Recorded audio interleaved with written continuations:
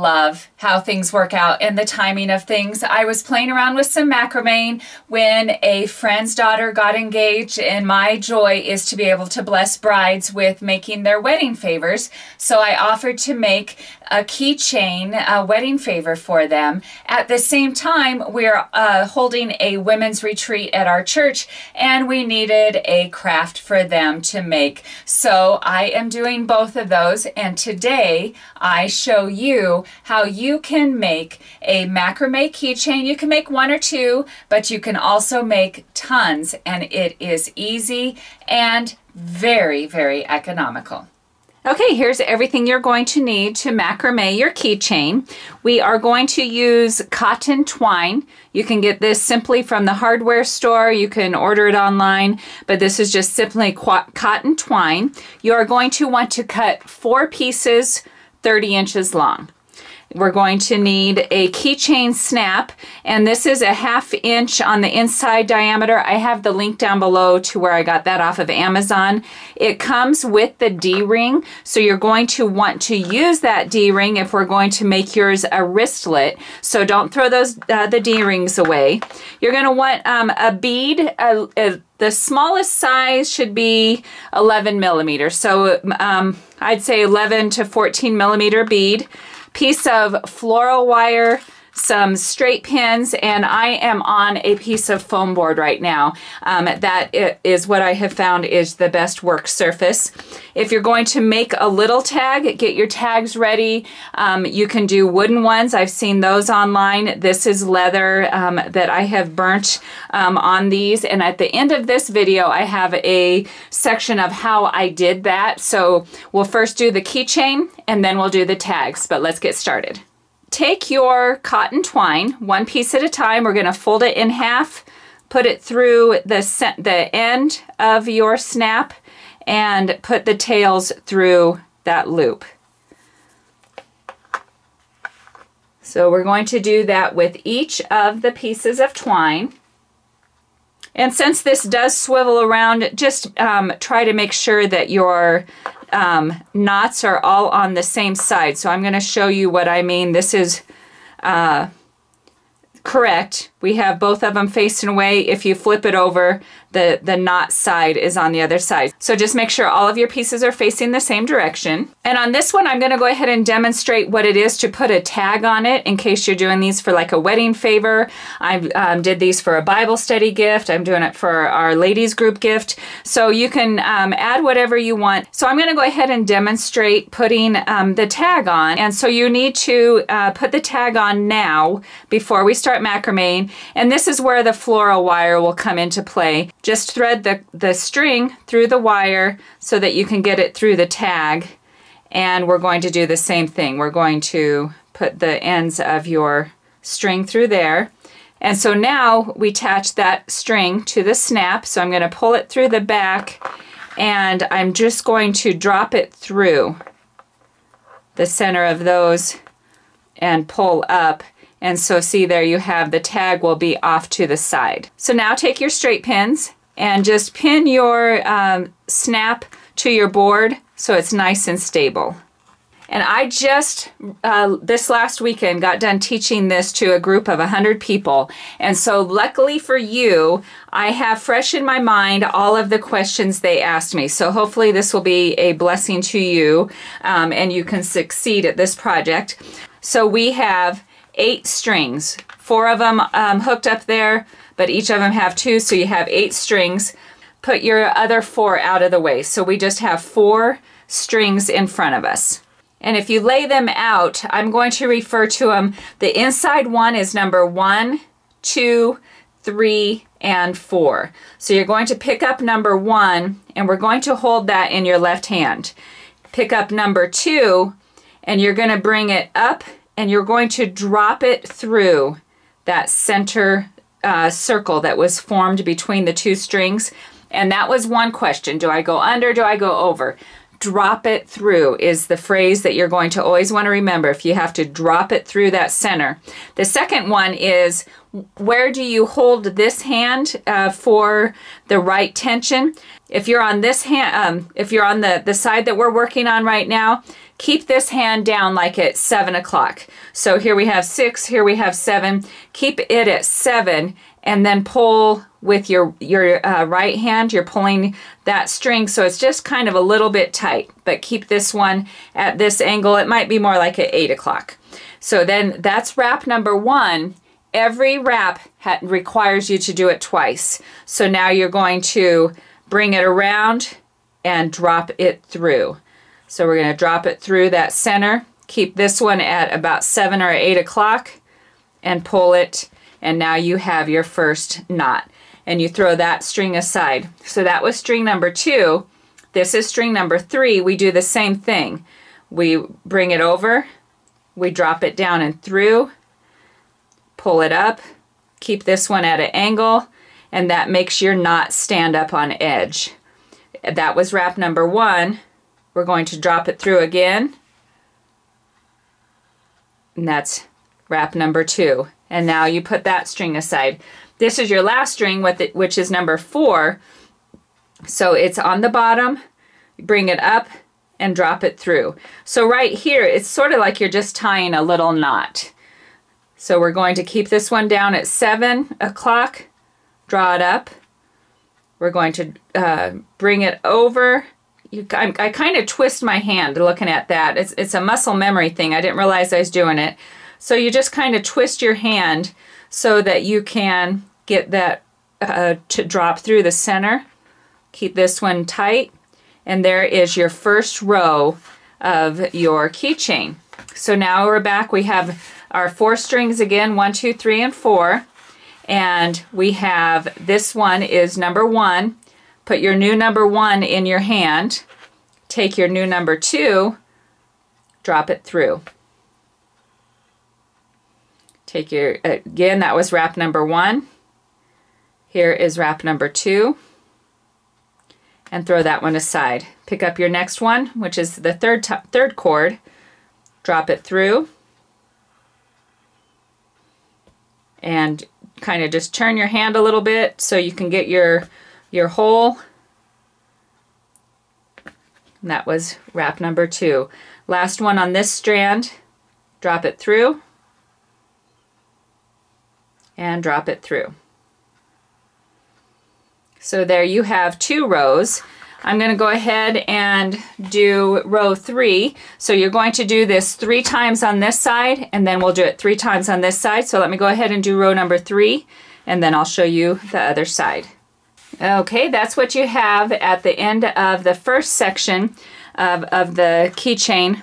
Now, string number one, two, three, and four, we start from the center and go out, one, two, three, and four. I put number one in my right hand. I pick up number two, and I bring it up, and I drop it through the center and pull it tight. Now this um, hand here is like at four to five o'clock. And this is where some of the confusion, because a lot of us are right-handed, um, I it's, it's a different motion. So here I'm getting ready to do the second wrap. You go over the wrap and you drop it through. So basically you're going over and coming up from the bottom. It could be either way you need to come up and through that uh, hole. So that was cord number one. Let's see if we on cord number, I'm sorry, that was cord number two. So let's see on cord number three if we can explain it any better. So I'm holding number one here. We go over it and come up through that little hole.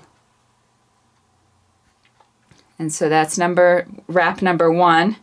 Go over it and come up through that hole.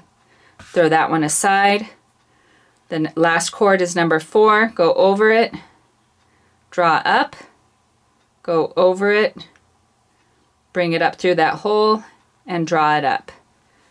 We bring them all back down. Our new number one, we repeat. We're going to go over, Bring it up, trot, here we go, and bring through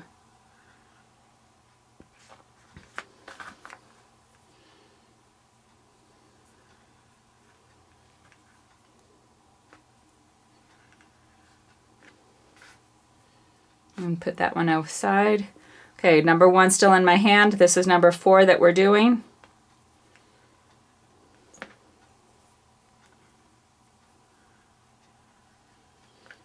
Okay, bring them all back down. My new number one. And we go for the third diagonal. And you can see this one still at, at this angle makes you, um, you have the nice tight rows. So cord number three is getting its turn to get wrapped or to do the wrapping.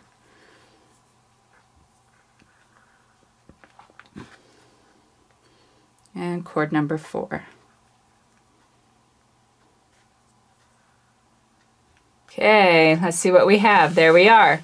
So we have one, two, three, one, two, three. They're pretty close, um, uh, even here. If one is off a little, you can do some adjusting, but it really won't show up. I can assure you that this next thing that we're going to do, um, any tiny little mismeasurements will get hidden.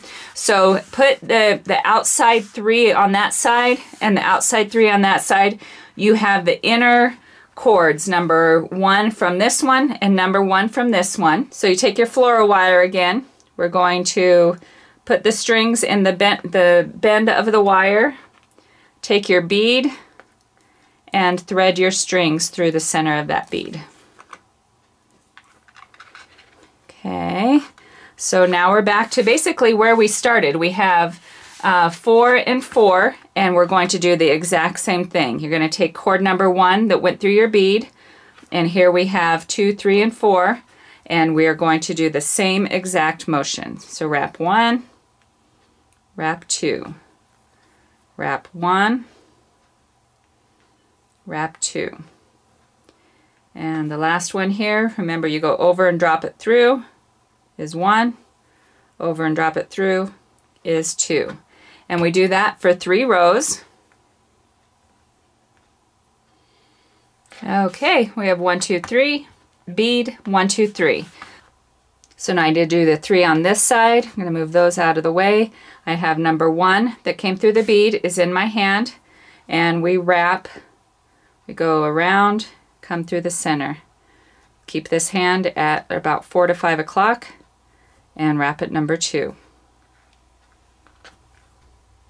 Go back, new number one, and continue for row number two and three.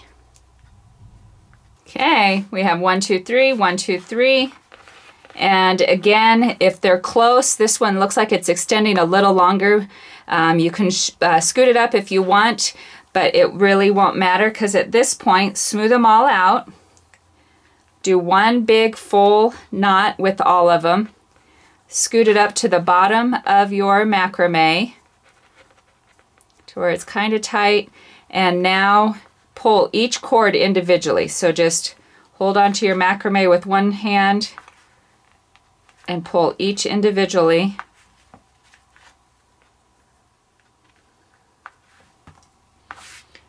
Trim them to be about two inches long. Take just a dog brush and fray out your tail.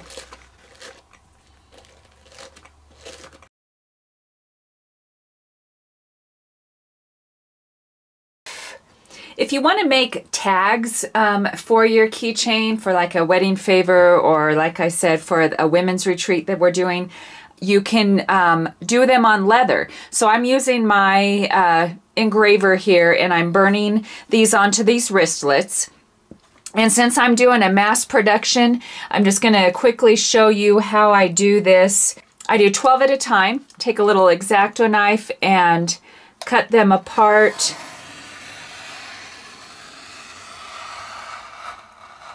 And I cut each one 10 inches, leaving a gap on each end. And these wristlets, they slip into the little D-ring. Here's one that I have done. So you need to have uh, cut your leather just right at a half inch so it can slip into your D-ring. Okay, after you have it cut, now we need to put the D-ring on. And so you just slide one end into the D-ring and fold it over um, probably a generous half inch.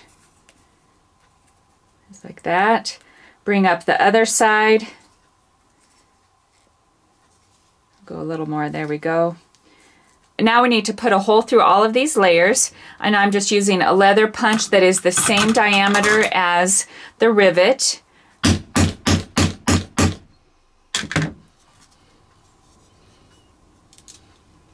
So there's our hole and here is the rivet that you just put the long end in one side, put the other. There's different length stems uh, to your rivets.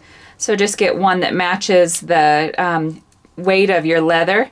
And once it, it snaps in, you can hear it snap in, then I tap it just a little bit on each side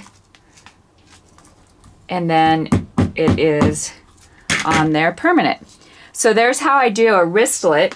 I am also doing these for wedding favors. So these are just uh, square tags. You can use leather. Um, you can, uh, I've seen them with wood discs and you just incorporate it into your uh, macrame.